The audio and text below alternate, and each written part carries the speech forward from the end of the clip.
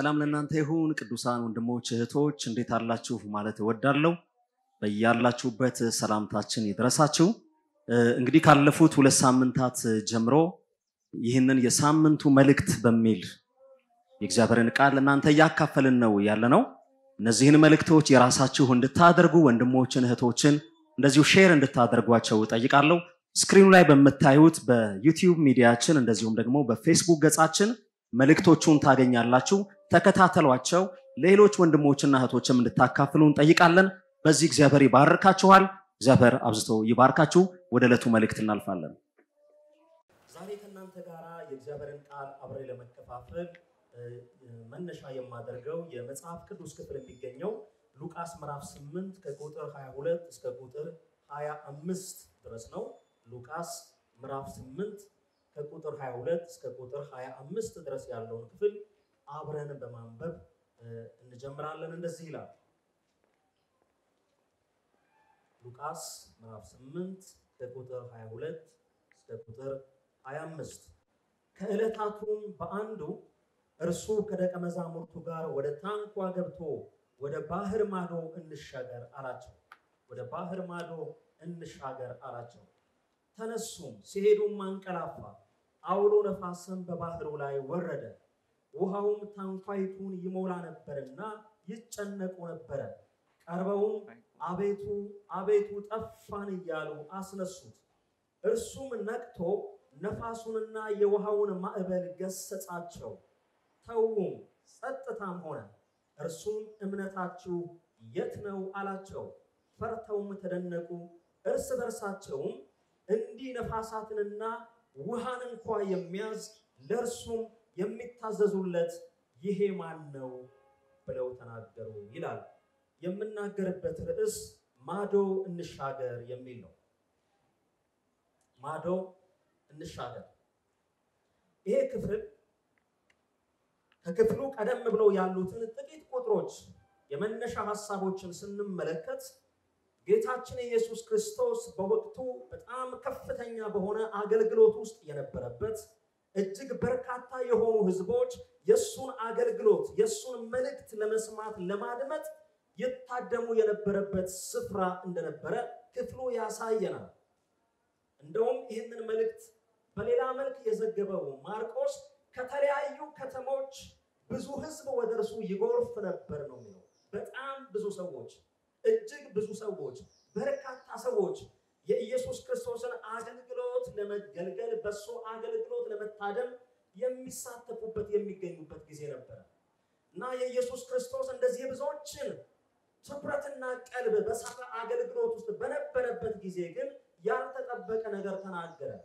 ብዙዎች አገልግሎቱን እየታደሙ ሳለ ብዙዎች የእሱን አገልግሎት ለመካፈል ተገኝተው ሳለ ለደቀ መዛሙርቱ እንደዚህ አላቸው ይላል ታንኳን አዘጋጁና ወደ ባህር ማዶ እንሻገር። በሱ ልብ ውስጥ ለታቀደ ለአንድ አገልግሎት ከፊታቸው ላለ ለሚሰራ ለእግዚአብሔር ሐሳብ ስራ ራሳቸውን እንዲያዘጋጁ ታንኳን ደግሞ አዘጋጅተው ወደዚያ ስፍራ እንዲሄዱ ትእዛዝን እንደሰጣቸው ይሄ ክፍል ይናገራል። እና ደቀ መዛሙርቱ ትእዛዙን ሰሙ። የኢየሱስ ክርስቶስን መልእክት ለመፈጸም ታንኳን አዘጋጅተው ኢየሱስ ክርስቶስን ይዘው መንገድ ጀመሩ። ባህሩን ማቋረጥ ጀመሩ። ነገር ግን ያልጠበቁትና ያላሰቡት ነገር ደግሞ ገጠማቸው። ይሆናል ብለው ያልጠረጠሩት ያልተዘጋጁበት ነገር መንገድ ላይ ገጠማቸው። ሁኔታው ከአቅማቸው በላይ ስለሆነ የመጣው የነፋስ ኃይል፣ የመጣው ማዕበል፣ የመጣው ተግዳሮት ከሁኔታው ከሚመጣው ነገር የተነሳ ሊቋቋሙት እንደማይችሉ ባዩ ጊዜ ኢየሱስ ክርስቶስን ቀሰቀሱት ይላል። ጌታ ሆይ ስንጠፋ አይገድህምን? ልንሞት ነው፣ ሊያበቃልን ነው ነገር እባክህ ብለው ቀሰቀሱት ይላል። አንዳንድ ጊዜ በሕይወታችን የሚመጡ የሚገጥመውን ይህንን መሰል ተግዳሮቶች የምናልፍባቸው አይመስሉንም፣ የምንሻገራቸው አይመስለንም፣ ማዶ የምንደርስ አይመስለንም ከፍጻሜ የምንደርስ አይመስልንም። ኢየሱስ ክርስቶስ ወደ ተናገረልን፣ ኢየሱስ ክርስቶስ ወደ አሳየን ቦታ የምንደርስ አይመስለንም። የምንሰማው ድምፅ፣ የምናየው ነገር ሁሉ ነገር እንዳበቃ፣ ነገር እንደተዘጋ፣ ልንሞት እንደሆነ፣ ልንጠፋ እንደሆነ፣ ልንወድቅ እንደሆነ፣ ልንከስር እንደሆነ፣ ነገር ሊያበቃ እንደሆነ ያሳየናል። ደቀ መዛሙርቱን የገጠማቸው ተግዳሮት ይሄንን የነገራቸው ኢየሱስ ክርስቶስ የተናገራቸውን ትእዛዝ ከሱ የመጣውን መልእክት ሰምተው መንገድ የጀመሩ ናቸው። ነገር ግን አንድ ነገር ከመካከል እየተገዳደራቸው ነበር፣ ሊያስቆማቸው፣ እንዳይሻገሩ ሊያደርጋቸው፣ ከፍጻሜያቸው እንዳይደርሱ፣ እግዚአብሔር ካሳያቸው ስፍራ እንዳይደርሱ እየከለከላቸው ነበረ እና በውስጣቸው የሰሙት ያ ድምፅ፣ ያ ፍርሃት ወደ ጩኸት ውስጥ እንዳመጣቸው ይሄ ቃል ይናገራል። ይሄ ቃል ያሳየናል። ምንድን ነው በህይወታችን እንደዚህ አይነት ድምፅ የምንሰማበት ጉዳይ? እንደዚህ አይነት ፍርሃት ውስጥ የከተተን፣ እንደዚህ አይነት ጭንቀት ውስጥ የከተተን ከጌታ የሰማነው ድምፅ እያለ ነገር ግን ከመንገድ ላይ የሚገዳደረን ኢየሱስ ክርስቶስን እንቀሰቀሱ ስንጠፋ ግድ አይልህም። አንዳንድ ጊዜ እንደዚህ አይነት ጩኸት ከውስጣችን ይሰማል፣ ከነፍሳችን ይሰማል። ስጠፋ ግድ ይልሃል፣ ይታያል ያለሁበት ሁኔታ፣ ይሰማሃል ያለሁበት ሁኔታ እውነቱን ለመናገር በዚህ ሰዓት በልባችን ውስጥ የሚመጣውን የእግዚአብሔርን ድምፅ ብንሰማ ግድ ይለኛል የሚል ነው። ስለ አንተ ግድ ይለኛል፣ ስለ አንቺ ግድ ይለኛል፣ ስላለህበት ሁኔታ ግድ ይለኛል፣ ስለምታልፊበት ነገር ግድ ይለኛል፣ ስለምታልፉበት ነገር ግድ ይለኛል። የእግዚአብሔር ቃል እንደዚህ ብሎ መጣ ይላል። አጋር እጅግ ተጨንቃ በነበረችበት ሰዓት ልጇን ጥላ ሞቱን አላይ ብላ ሲሞት አልመልከተው ብላ ወርውራው በሄደች ጊዜ የመልአኩ ድምፅ ተሰማ። አጋር አጋር፣ የብላቴናውን ድምፅ የብላቴናውን ጩኸት እግዚአብሔር ሰምቷል። አንሺው፣ ታላቅ ሕዝብ ይሆናል፣ ለብርቱ ሕዝብ ይሆናል። ተስፋ የቆረጠችበት ነገር ነው። አበቃ ያለችበት ጉዳይ ነው። የእናትነት አንጀቷ አልችል ብሎ ሲሞት አልየው ያለችው ነገር ነው። እግዚአብሔር ግን ከሰማይ ድምፅ አመጣ። የሕፃኑን ጩኸት እንኳን እሰማለሁ፣ እንኳን ያንቺን እንኳን ያንቺን ለቅሶ፣ የሕፃኑን ጩኸት፣ የሕፃኑን ጥሪ እንኳን እሰማለሁ። ስንጠፋ አይገድህምን? ኢየሱስ ይገደኛል ነው መልሱ። ያላችሁበት ሁኔታ የሚያስጨዋችሁ ነገር ምንም ሊሆን ይችላል፣ አይነቱ ምንም ሊሆን ይችላል። ግን ልባችሁን ብትሰሙ የእግዚአብሔር ድምፅ እግዚአብሔር ለልባችን የሚናገረው ግድ ይለኛል የሚል ነው። እዚህ ላይ ልብ ማለት ያለብን አንድ ነገር አለ። እንደዚህ አይነት ገጠምሽኞች፣ እንደዚህ አይነት ተግዳሮቶች፣ እንደዚህ አይነት ፈተናዎች የአንዳንድ ሰዎች እድል ፊቷን ያዞረችባቸው ሰዎች ገጠምሽኝ አይደለም፣ የጥቂት ሰዎች ጉዳይ አይደለም። መጽሐፍ ቅዱሳችንን ብናጠና የክርስቲያኖች የአማኞች ሁሉ ተግዳሮት ነው። የምናልፍባቸው እንደነዚህ አይነት ነገሮች በሕይወታችን ይገጥሙናል። በርካታ ሰዎችን ማንሳት እንችላለን፣ ግን ጥቂቶቹን ላንሳላቸው። ሐዋርያው ጳውሎስ በሁለተኛ ቆሮንቶስ ምዕራፍ አንድ ከቁጥር ስምንት እስከ አስራ አንድ እንደዚህ ብሎ ተናገረ ይላል። ያንን ጊዜ እያሰበ ያንን ወቅት እያሰበ ምን ተሰምቷቸው እንደነበረ ምን አይነት ፍርሃት ገጥሟቸው እንደነበረ እያሰበ ሲናገር እውነቱን የተናገረ ወንድሞች ሆይ ስለደረሰብን መከራችን ታውቁ ዘንድ እንወዳለንና ስለ ሕይወታችን እንኳ ተስፋ እስክንቆርጥ ድረስ ከአቅማችን በላይ ያለ ልክ ከብዶብን ነበረ። አዎን ሙታንን በሚያስነሳ በእግዚአብሔር እንጂ በራሳችን እንዳንታመን እኛ ራሳችን የሞትን ፍርድ በውስጣችን ሰምተን ነበረ። እርሱም ይህንን ከሚያህል ሞት አዳነን ያድነንማል። እናንተም ደግሞ ስለ እኛ እየጸለያችሁ አብራችሁ ስትረዱን በብዙ ሰዎች በኩል ስለተሰጠን ስለ ጸጋ ስጦታ ብዙዎች ስለ እኛ ያመሰግኑ ዘንድ ወደፊት ደግሞ እንዲያድነን በእርሱ ተስፋ አድርገናል ይላል። በሕይወታችን ተስፋ የቆረጥንበት ጊዜ ነበረ። በውስጣችን የሞትን ድምፅ ወይም የሞትን ፍርድ የሰማንበት ጊዜ ነበረ። ውስጣችን ሳይቀር እንደው ይሄ ነገር መጨረሻ ደርሶ ይሆን የሚለውን ነገር አሰምቶናል። ተስፋ አስቆርጦናል። ነገር ግን እግዚአብሔር በዚህ ተስፋ መቁረጥ ውስጥ ያደረገልን ነገር አለ። አዳነን። ይህንን ከሚያህል ሞት እንደ ሞት ከመጣው ነገር በሕይወታችን ውስጥ ነገርን ሊዘጋ ሊያበቃ ከመጣው ነገር እግዚአብሔር አዳነን። ወደፊትም ደግሞ ያድነናል። ወንድሞችና እህቶች አይነቱ ሊለያይ ይችላል። አንድ ሊሆን ይችላል፣ ለየቅል ሊሆን ይችላል፣ መጠኑ ሊያንስ ይችላል፣ ሊበዛ ይችላል። ነገር ግን የምናልፍበት እንደዚህ አይነት ተግዳሮት አለ። የሚገጥመን ተግዳሮት፣ የምናልፍበት ተግዳሮት። ጳውሎስ በዛን ሰዓት ላይ ማዶ ለመሻገሩ እርግጠኛ አልነበረም። ለማለፉ እርግጠኛ አልነበረም። ከፍጻሜ ለመድረሱ እርግጠኛ አልነበረም። ያንን ዘመን እያሰበ ሲናገር በህይወታችን እንዲህ አይነት ሁኔታ አልፎ ነበረ፣ ተስፋ ቆርጠን ነበር ይላል። የእግዚአብሔር ሰው ዳዊት በአንደኛ ሳሙኤል ምዕራፍ 20 ቁጥር ሶስት ላይ እንደዚሁ ያለበትን ሁኔታ አስበው ሲናገር እንደዚህ አለ ይላል። በእኔና በሞት መካከል አንድ እርምጃ ያህል ቀርቷል። በእኔና በሞት መካከል ይሄ ሰው ከፊት ለፊት ንግስና የተባለ ሰው ነው። ትንቢት የመጣለት ሰው ነው። የእግዚአብሔርን ድምፅ የሰማ ሰው ነው። ከፊቱ ስላለ ብሩህ ዘመን የተነገረው ሰው ነው። ግን አንድ የህይወት ጉዳይ ላይ ራሱን ሲመለከት በእኔና በሞት መካከል አንድ እርምጃ ቀርቷል። በእርሱና በሞት መካከል ያለውን ነገር በግልጽ የተመለከተበት በሌላ አነጋገር በህይወትና በሞት መካከል ያለው ደማቁ መስመር በግልጽ የታየበት ይትረፍ ይዳን እርግጠኛ ያልሆነበት ይሻገር ወይም እዛው ይቅር እርግጠኛ ያልሆነበት በእኔና በሞት መካከል አንድ እርምጃ ቀርቷል። ንግስናውን እያሰበ እግዚአብሔር የተናገረውን ነገር እያሰበ የሚያልፍበት ነገር ግን ያንን አልነገረውም። የሚያልፍበት የገጠመው ተግዳሮት ግን ያንን አልነገረውም። አበቃ እያለው ነው።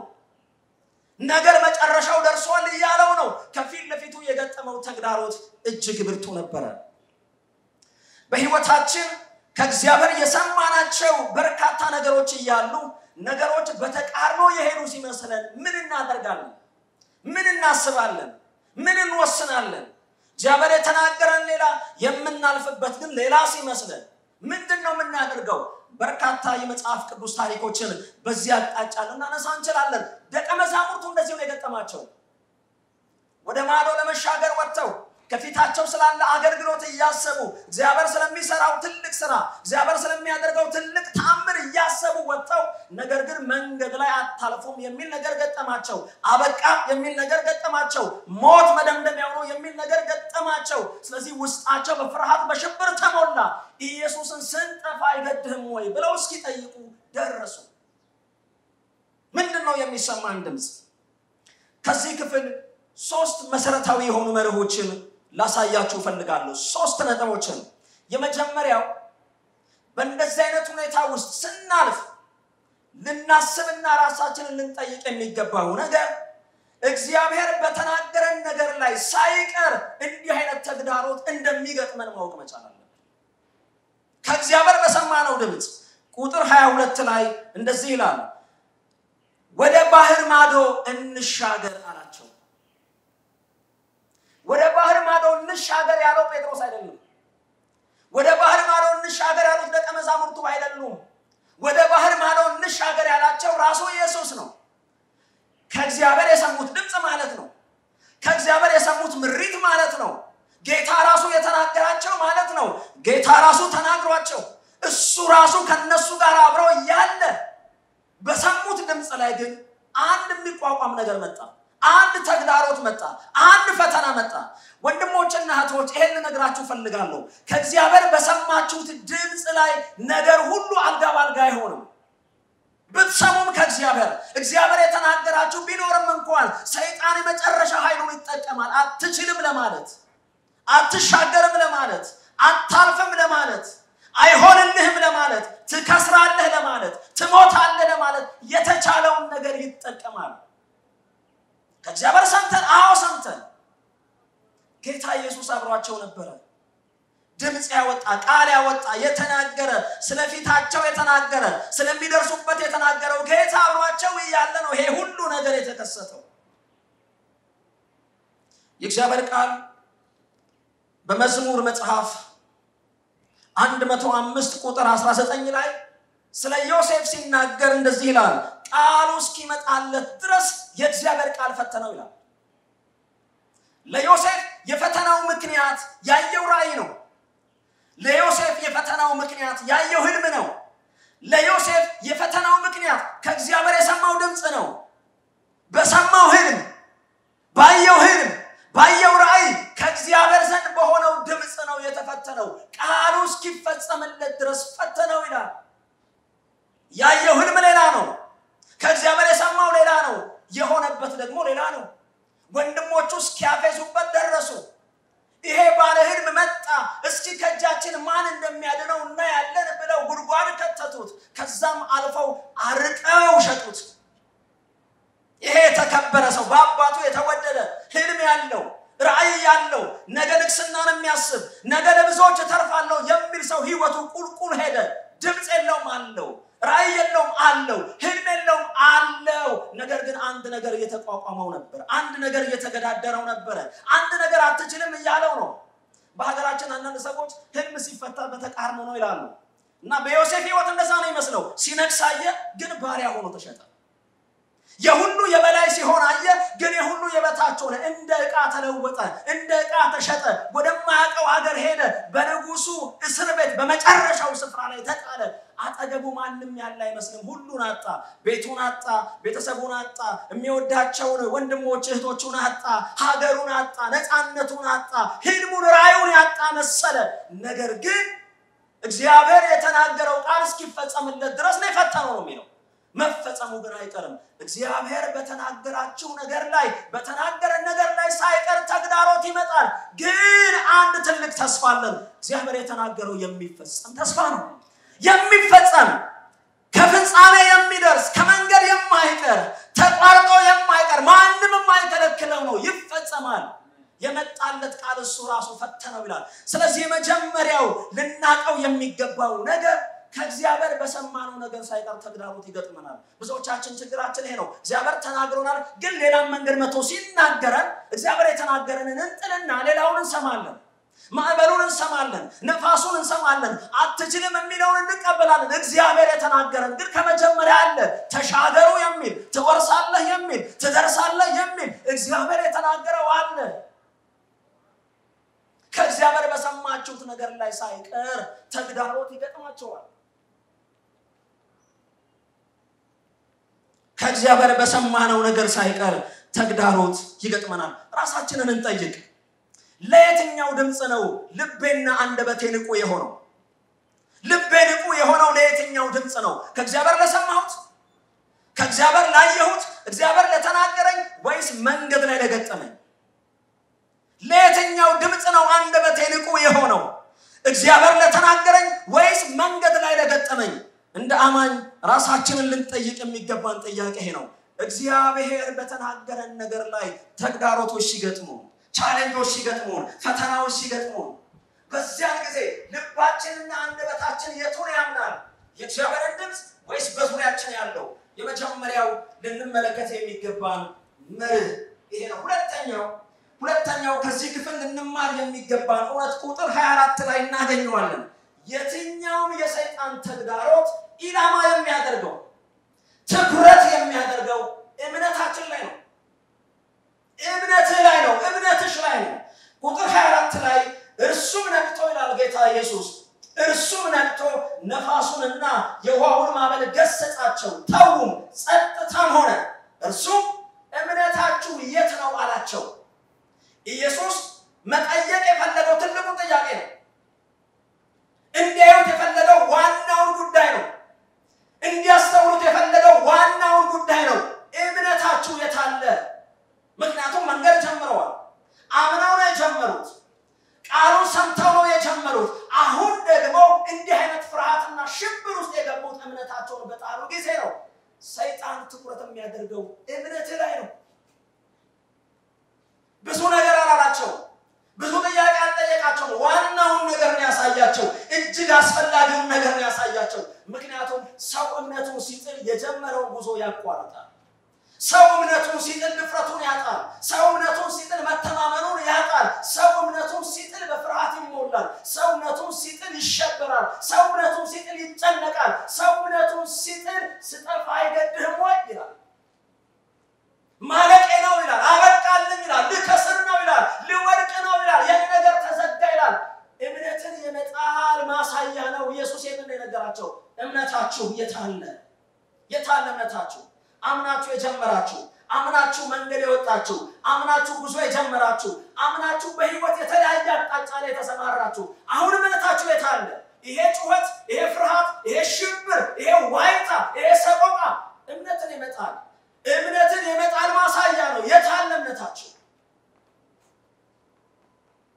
የታለ እምነታችሁ? በመጽሐፍ ቅዱሳችን ላይ እጅግ ትልቅ ስለሆነ ነቢይ ጀግና ስለሆነ ነቢይ ስለ ኤልያስ መጽሐፍ ቅዱስ ይናገራል። አራት መቶ ሀምሳ የባኦል ነቢያትን ብቻውን የገጠመ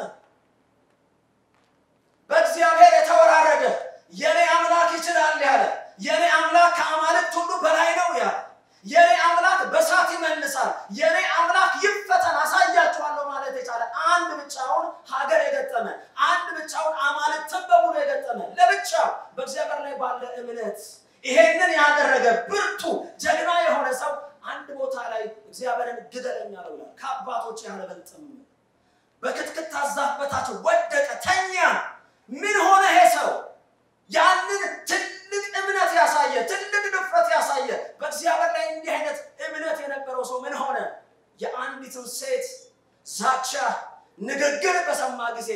እምነቱን ጣለ። ግደለኝ አለ። ከአባቶች ያልበልጥም አለ። በቃኝ አለ። ህይወት ከዚህ በኋላ በቃ አለ። አገልግሎት ከዚህ በኋላ በቃ አለ። የህይወት ትርጉም ከዚህ በኋላ በቃ ግደለኝ። የምን ውጤት ነው? እምነትን የመጣል ውጤት ነው። ሌላ አይደለም፣ ሌላ አይደለም። መጽሐፍ ቅዱስ ሲናገር ጻድቅ ይላል በእምነቱ በህይወት ይኖራል። ወደ ኋላ ቢያፈገፍግም ነፍሴ በእርሱ ደስ አይላትም ይልና እኛ ግን አምነው ከሚድኑት ነን እንጂ ለጥፋት ወደ ኋላ ከሚያፈገፍጉት አይደለንም ይላል። ጻድቅ በእምነት ነው የጀመረው። የጻድቅ ጅማሬው እምነት ነው። የጻድቅ መንገዱ የጻድቅ ፍጻሜው ሌላ ሊሆን አይችልም። በእምነት ነው የጀመርነው። በእምነት ነው የምንቀጥለው። በእምነት ነው ፍጻሜ የምንደርሰው። ጻድቅ እምነቱን ነው የሚይዘው። እግዚአብሔርም የሚጠይቀው እምነት የታለ ነው የሚለው። ወንድሞችና እህቶቼ በምታልፉበት ማናቸውም አይነት ሁኔታ ውስጥ የጩኸት ድምፅ እያሰማችሁ ከሆነ ልጠፋ ነው አበቃልን እያላችሁ ከሆነ የእግዚአብሔርን ድምፅ ልባችሁ ውስጥ ፈልጉት። እየጠየቃችሁ ነው። እምነት የት አለ? እምነትሽ የት አለ? የጀመርሽበት መንገድ የጀመርክበት እምነት የት? ጌታ ኢየሱስ ለጴጥሮስ እንደዚህ ነው ያለው፣ ስምዖን ስምዖን አለው፣ ሰይጣን እንደ ስንዴ ሊያበጥራችሁ ወደደ፣ እኔ ግን እምነት እንዳይጠፋ ስላንተ ማለድኩልህ። የሰይጣን ትኩረት ሌላ አይደለም አለው፣ እምነት ነው። እምነትን ማጥፋት ነው የሚፈልገው። እኔም ደግሞ የማለድኩት እኔም ደግሞ የጸለይኩት ለእምነት ነው። በእምነት እንድትቆም፣ በእምነት እንድትጸና፣ በእምነት እንድትቀጥል፣ በእምነት ወደፊት እንድትመለከት፣ ሌሎችንም በእምነት እንድታስከትል በተመለስክ ጊዜ አለ ወንድሞችን አበርታቸው፣ በእምነት አቁማቸው። የሰይጣን ትኩረቱ ሌላ ቦታ አይደለም። የትኛውም ተግዳሮት ትኩረቱ ሌላ ቦታ አይደለም፣ እምነታችሁ ላይ ነው። እንደ አማኝ ራሳችንን መጠየቅ ያለብን ሰይጣን እምነቴ ላይ ኢላማ ባደረገበት ነገር ላይ ምን ያህል እምነትን ጠብቄያለሁ? ምን ያህል መመለስ ችያለሁ? እግዚአብሔር ከኔ ጋር ነው ብዬ የጀመረኝ ያስጀመረኝ እሱ ያስጨርሰኛል ብዬ ምን ያህል እምነቴን ንግግሬን መጠበቅ ችያለሁ? ሁለተኛው አስፈላጊው ልንማር የሚገባን ነገር ይሄ ነው። ሶስተኛውና የመጨረሻው ቁጥር 25 ላይ እናገኘዋለን። ሶስተኛውና የመጨረሻው ከዚህ ክፍል ልንማር የሚገባን እውነት ከየትኛውም የሚገጥመን ተግዳሮት የእግዚአብሔርን ሉዓላዊነት የበላይነት ሁሉን የሚቆጣጠር መሆኑን እንማርበታለን። እግዚአብሔር ልዑል መሆኑ ከሱ ዓይን የተሰወረ ምንም ነገር እንደሌለ ከሱ ኃይል ከሱ አቅም በላይ የሆነ ምንም ነገር እንደሌለ ይሄ ክፍል ያስተምረናል። ቁጥር 25 እንደዚህ ነው የሚለው እርስ በርሳቸውም እንዲህ ነፋሳትንና ውሃን እንኳን የሚያዝ ለእርሱም የሚታዘዙለት ይሄ ማን ነው አሉ። ይህንን ጥያቄ የጠየቁት ሶስት ዓመት ከኢየሱስ ጋር አብረው የኖሩት ደቀ መዛሙርቱ አይመስልም። አብረውት የገቡ አብረውት የወጡ ታምራት ሲያደርግ ያዩ፣ ሲፈውስ ያዩ፣ አጋንንትን ሲያወጣ ያዩ፣ ሲያስተምር ያዩ፣ የእግዚአብሔርን መልክ ሲያሳያቸው የኖሩ ሰዎች የጠየቁት ጥያቄ አይመስልም። ምክንያቱም ዛሬ ያዩት ትናንት ካዩት ይበልጣል። ዛሬ ያዩት ትናንትና ካዩት እጅግ ይበልጣል። የዛሬው ተግዳሮት የዛሬው challenge ስለ ኢየሱስ ሌላ አንድ ትልቅ ምስል አሳያቸው። እሱ ጥሩ ሰባኪ ብቻ አይደለም። እሱ ጥሩ አስተማሪ ብቻ አይደለም። እርሱ ጌታ ነው። እርሱ መሲ ነው። እሱ ከሁሉ በላይ ነው። ነፋስ ይታዘዝለታል። ማዕበል ይታዘዝለታል። ተፈጥሮ ይታዘዝለታል። ሁሉ ይገዛለታል። ይሄ ማን ነው አሉ። እርግጠኛ ነኝ ይችን ቀን ደቀ መዛሙርቱ መቼ የማይረሷትም። አንድም በጭንቀታቸው አንድም ኢየሱስን በማንነቱ ስላዩት ነፋስ ይታዘዝለታል። ነፋሱ ጸጥ ይላል። ማዕበሉ ጸጥ ይቻላል፣ ለሰው የማይቻለው ይቻላል። አንዱ ለአንዱ የጠየቀው ጥያቄ ነው። ጴጥሮስ ለማቴዎስ፣ ለማርቆስ፣ ለሉቃስ የጠየቀው ለዮሐንስ የጠየቀው ማን ነው? ይሄ ትናንት ከምናውቀው በላይ የሆነ ትናንትና ከተመለከትነው በላይ የሆነ ይሄ ማን ነው? ነፋስ እኮ ይታዘዝለታል። የትኛውም የምናልፍበት challenge በህይወታችን ለጥፋት የመጣ ቢሆን በህይወታችን ለምንም አይነት ነገር የመጣ ቢሆን ነገር ግን ስለ እግዚአብሔር አንድ ትምህርት ይሰጠናል። እግዚአብሔር ከሁሉ በላይ ይቆጣጠረዋል። ነፋሱን ይቆጣጠራል። ማዕበሉን ይቆጣጠራል። የምታልፉበትን ነገር ይቆጣጠራል። እሱ ከዚያ በላይ ነው፣ ከሁሉ በላይ ነው። ይሄ ትምህርት የተገኘው በዚህ challenge ነው።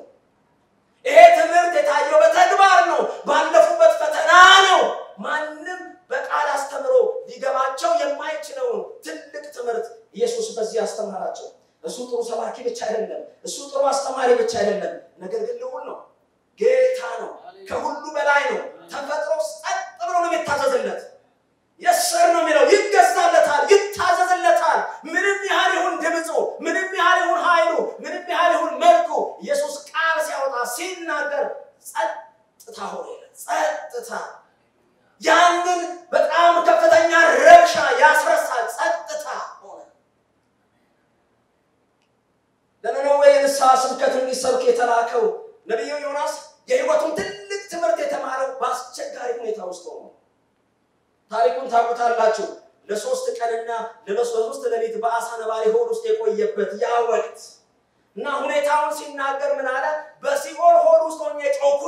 fix you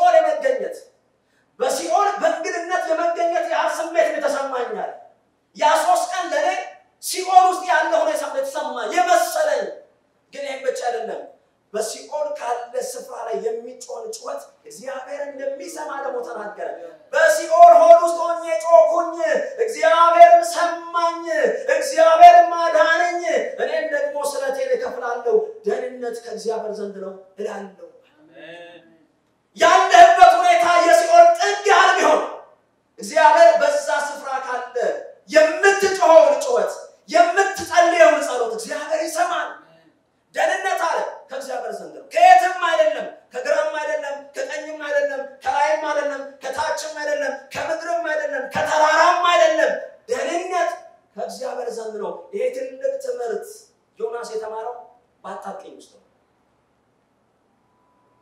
ለካ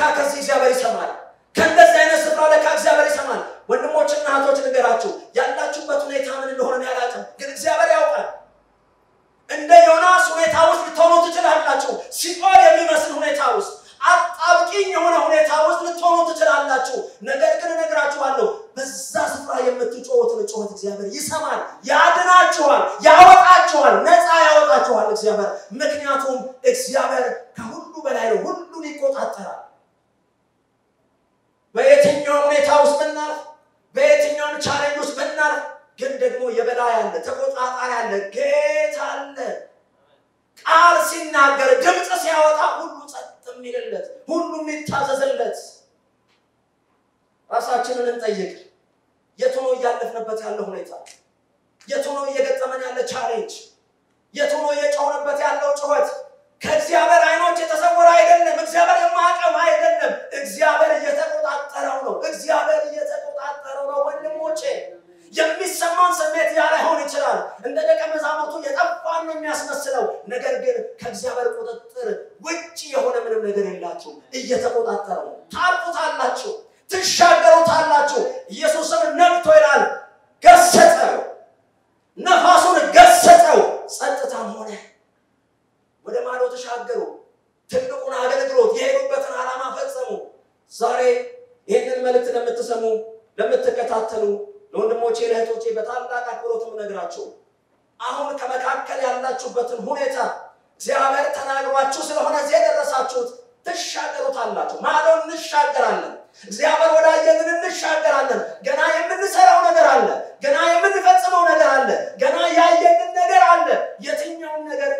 ፈጽማችሁ አትፍቀዱለት።